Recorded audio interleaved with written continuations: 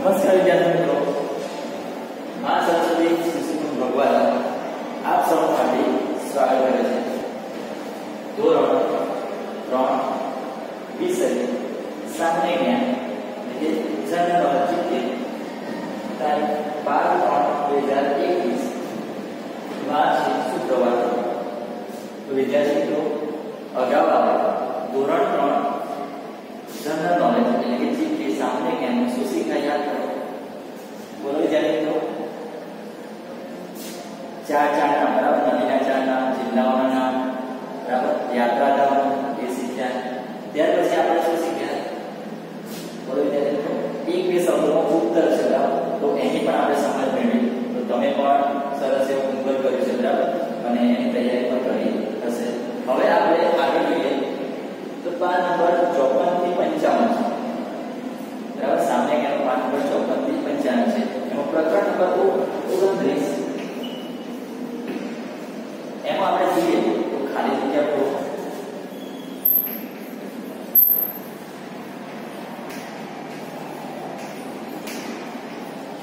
ત્યાર પછી આગળનું જે પ્રકરણ છે તો પ્રકરણ નંબર ત્રીસ જોરદાર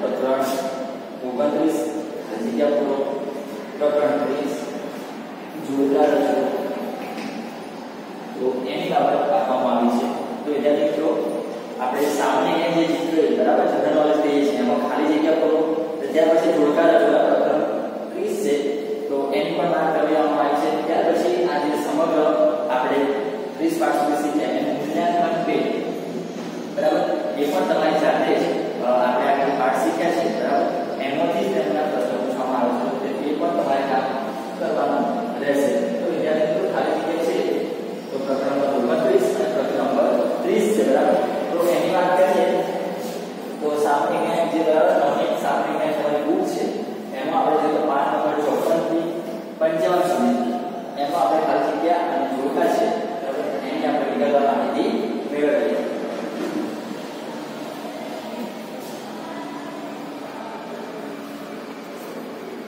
હવે વિદ્યાર્થી મિત્રો આપણે પ્રકરણ નંબર ઓગણત્રીસ ખાલી જગ્યા પૂરો, બરાબર? તો આપણે સમજીએ. પહેલું છે તાવ માપવા માટે ખાલી જગ્યા વપરાય. તો તાવ માપવા માટે થર્મોમીટર. તો આપણે અહીંયા થર્મોમીટર છે એ શબ્દ લખીશું. અથવા તમે ટીક પણ કરી શકો છો, બરાબર? આ થર્મોમીટર. ત્યાર પછી બીજું છે કે ખાલી જગ્યા પંપા સરોવરના કિનારે રહેતી હતી. તો કૌંસમાં આપ્યું છે અલ્યાબાઈ ઓબ્લિક કરીને આપી છે સબરી.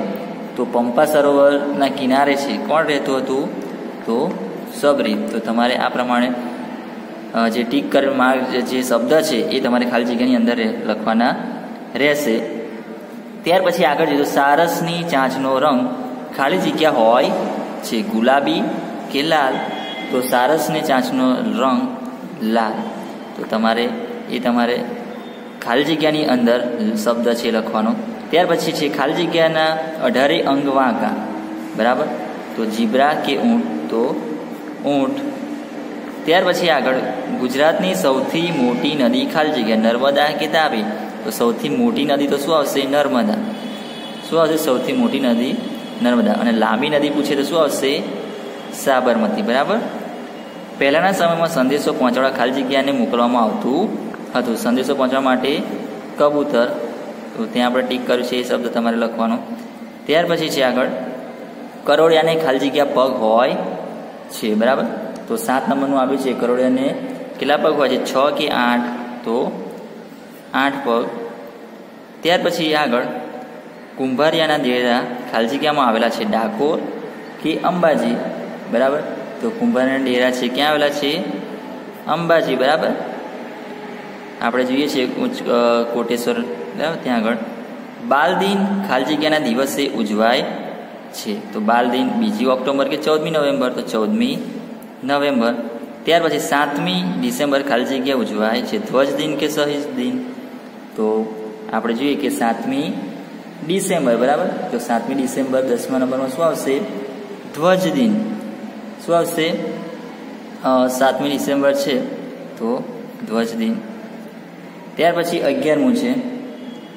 ગુજરાત ભારતની ખાલી જગ્યા દિશાએ આવેલું છે. પૂર્વ કે પશ્ચિમ?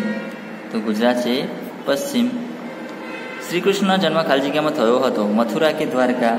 તો શ્રી કૃષ્ણનો જન્મ છે મથુરામાં. તો જે ટીક માર્ક કરેલ શબ્દ છે એ તમારે ખાલી જગ્યાની અંદર લખવાના રહેશે. શ્રી શ્રીરામના પિતાનું નામ ખાલી જગ્યા હતું. દશરથ કે રઘુ? તો શું આવશે? દશરથ.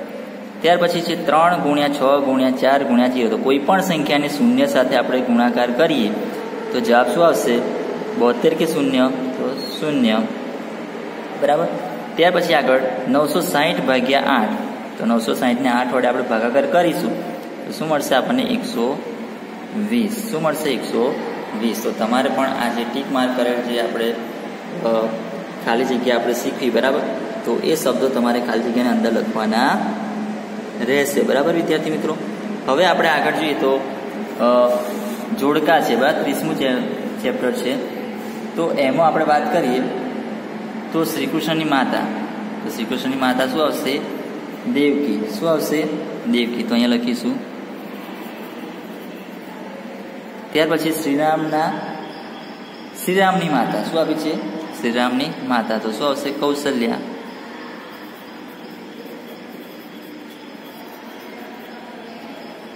ત્યાર પછી ગામનો વહીવટ ત્રીજા નંબર પર ગામનો વહીવટ, તો ગ્રામ પંચાયત.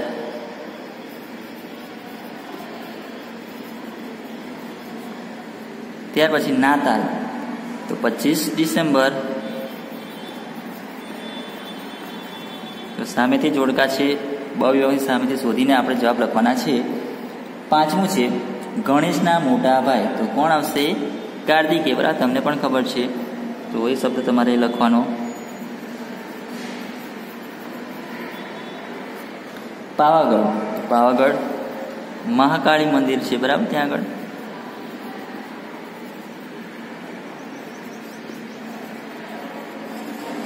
તો આ પ્રમાણે તમારે જે જોડકા રચો છે, બરાબર? એમાં પણ આ રીતે તમારે લખવાના રહેશે, બરાબર? ત્યાર પછી આપણે બીજા નંબરનું જોડકું છે, એમાં જોઈએ. એશિયાની સૌથી મોટી હોસ્પિટલ, બરાબર? તો શું આવશે? સિવિલ હોસ્પિટલ, બરાબર? તો તમારે અહીંયા છે, સિવિલ હોસ્પિટલ છે એ લખવાનું, બરાબર? શું લખીશું? સિવિલ અમદાવાદ. શું લખીશું? સિવિલ અમદાવાદ. ત્યારે ગુજરાતમાં ભરાતો સૌથી મોટો મેળો બૌઠા શું આવશે? વૌઠા ત્યાર પછી જૈન ધર્મનું પવિત્ર પુસ્તક. તો જૈન ધર્મનું પવિત્ર પુસ્તક આપણે જોઈએ. બરાબર? તો કલ્પસૂત્ર. શું આવશે? ત્યાર પછી આગળ સિંહનું અભયારણ્ય. તો સિંહનું અભયારણ્ય સાસણગીર. ભારત પ્રદેશનો મુખ્ય પાક તો ઘઉં. શું જાણીતું છે? ઘઉં. બૌદ્ધ ધર્મનું પવિત્ર પુસ્તક. બૌદ્ધ ધર્મનું પવિત્ર પુસ્તક છે. બરાબર? તો બૌદ્ધ ધર્મનું પવિત્ર પુસ્તક કયું છે? યાદ કરો, ત્રિપીટક. આ પ્રમાણે તમારે જે ત્રીજી જોડકું છે એ પણ સામેથી શોધીને લખવાનું છે. તો ગાજર છે. તો કયા આકારનો છે? શંકુ. તો તમારે આકાર દર્શાવવાના છે. ત્યાર પછી બીજામાં અનાજનો રાજા તો ઘઉં. ત્રીજું છે, ફળનો રાજા તો કેરી. મુકેશ અંબાણી તો ઉદ્યોગપતિ છે. શું છે? ઉદ્યોગપતિ. રવિશંકર મહારાજ તો મુખ સેવક. શું છે? મુખ સેવક. ત્યાર પછી સબરી. સબરી તો રામ ભક્ત. બરાબર? સામે આપી છે રામ ભક્ત. તો આ રીતે તમારે શોધીને સામેથી બ વિભાગમાંથી સાચા જોડકા શોધીને આ પ્રમાણે લખવાના રહેશે. બરાબર વિદ્યાર્થી મિત્રો? અને આ પ્રમાણે તમારે પાઠ ઓગણત્રીસ અને ત્રીસ તમારી જે બુક છે, બરાબર ને? સામને જ્ઞાન એમાં પણ પૂરવાનું અને ત્યાર પછી મૂલ્યાંકન બે છે. એ આગળના પાઠ શીખ્યા. એના આધારે તમારે જાતે હોમવર્ક કરવાનું રહેશે બરાબર, તો આજની આ વીડિયો તમને સંપૂર્ણ ખ્યાલ આવી ગયો છે બરાબર, વિદ્યાર્થી મિત્રો, તો તમારે હોમવર્ક કરી અને હોમવર્ક મોકલી આપવાનું અને તૈયારી પણ કરવાની રહેશે. Thank you